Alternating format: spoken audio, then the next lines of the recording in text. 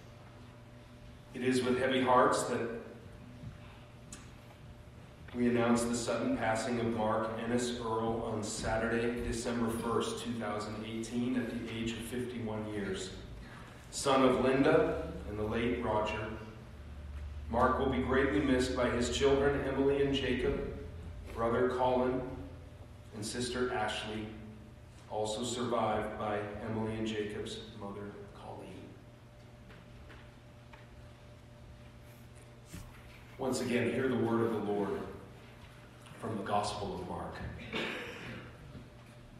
People were bringing little children to Jesus for him to place his hands on them, but the disciples rebuked them. When Jesus saw this, he was indignant. He said to them, Let the little children come to me, and do not hinder them, for the kingdom of God belongs to such as these. Truly I tell you, anyone who will not receive the kingdom of God like a little child will never enter it. And he took the children in his arms, placed his hands on them, and blessed them.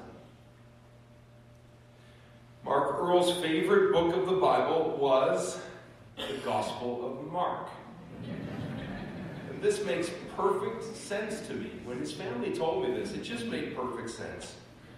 It made sense to me on a couple different levels. On the surface level, of course it makes sense because his name is right there.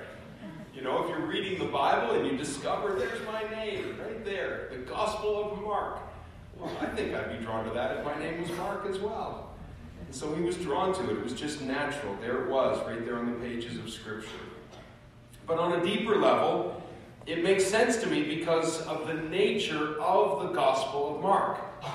One of my seminary professors, he described Mark's gospel, the way that Mark wrote his gospel about Jesus. He told the tale of Jesus and all that Jesus did and what Jesus did with the disciples.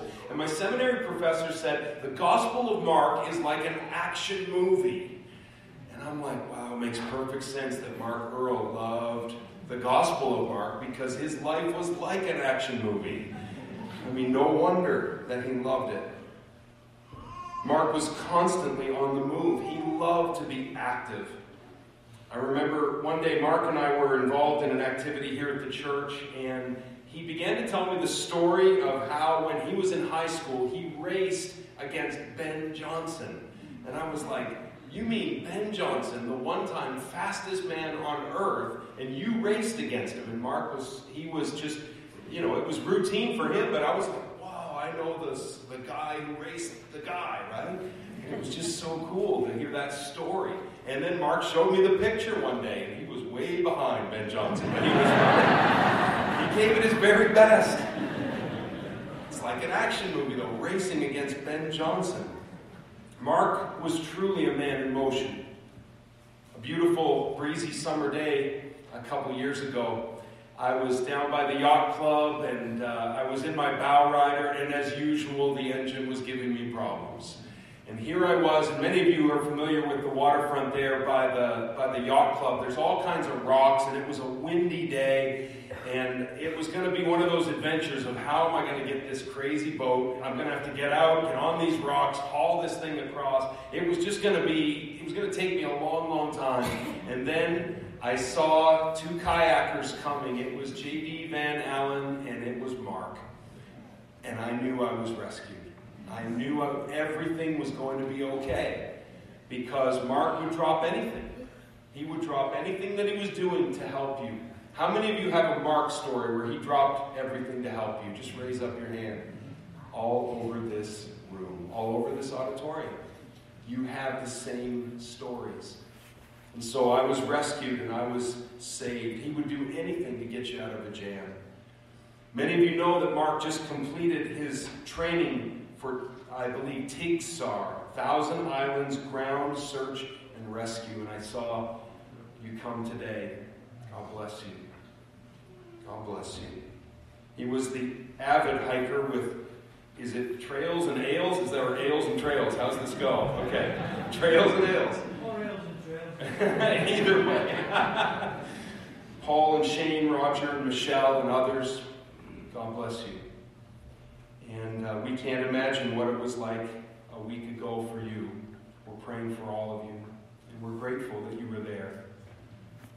Mark was involved, as Paul said, with the Legion. I'll never forget how he honored his father. Mark planned his dad's funeral. It took place right here on this very stage, and he wore his dad's uniform that day. He honored him, and it was a blessing. Mark was a geocacher. He became a great disc golfer. He kayaked. And Emily and Jacob told me their dad was both a concert enthusiast and a railroad enthusiast. And when they used the word enthusiast, it was just like, of course. Mark was enthusiastic. Anything he did, he was doing it with everything that he had. He was into concerts because he loved music, and he knew his daughter loved music. And Emily you did an amazing job today. Thank you so much. And he loved the railroad because it was just in his blood. It kind of was passed down through the generations of grandfather to father to Mark and now to Jacob. Jacob loves the railroad, a railroad enthusiast. And uh, Jacob has prepared the tribute that you're going to see uh, in just a few moments. Emily and Jacob, you were we talked about the other day. And when Mark and I would talk together, when we would meet together, he couldn't wait to talk about you. And you're a blessing to us. Let me give you a Mark Earle version of the scripture that I read from the Gospel of Mark. Let the teenagers come to me, and do not hinder them, for the kingdom of God belongs to such as these. Mark impacted the lives of so many teens uh, in our church. And not only in the church, but also in the community. Uh, I think it's because he was able to keep up with them, actually. and he cared. He was passionate to serve and to make a difference. And his family asked me specifically to talk about his work with the teens. Here's what teens said about Mark. Nicholas said, I would like to say goodbye. I say goodbye to someone who can easily be described as a Sea Road youth legend. Mark Earle. Emily, uh, who has graduated and lives in another city, this is what she said. She said, He was a big supporter of my dreams. Uh, I had a childhood dream to become an actress. A lot of people discouraged me, but Mark always made an effort to cheer me on and to come out to my plays. Haven't seen him in several years, but he was a massive inspiration and he helped me through some very tough times. This is what Brett wrote. Brett said, Mark meant so much to me as he did to everyone he knew.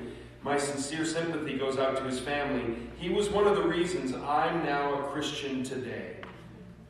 He was even right there to congratulate me when I got directly out of the baptism pool.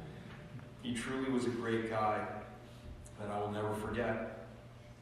Lauren wrote, He taught me so much about loving and serving the Lord and the community. My heart aches from the loss, and prayers go out to his family and friends. Everyone who knew him had their life impacted in some way by him. He will be missed by many. My prayer is that his legacy will live on and remind us every day to love and care for others deeply, just as he did. And Davy wrote this. He said, I'm deeply saddened by the loss of this great man. Mark, you taught me a lot over the years. You were always there to listen and to lead by example. Thank you for loving Jesus and being an example of him. Thank you for investing in my life. You're my friend, and you will not easily be forgotten. All four of my children grew up with Mark serving in the youth group. And uh, they grew up with Jacob and Emily and their brother and sisters to them. And uh, uh, my son, uh, I think, summed it up with Mark, and he wrote this. He says, I think I would share the moments that he took time to organize the youth sports events at the church. As a shy kid, I really appreciated the chances to go out and just play. That was Mark. He wanted the kids to play. He wanted the kids to come to know God. Listen to the way that Mark's gospel concludes the passage.